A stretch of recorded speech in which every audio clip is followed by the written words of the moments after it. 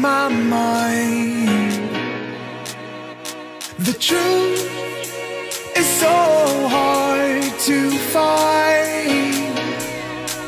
With all the things that's going on, I lost track, I felt so strong.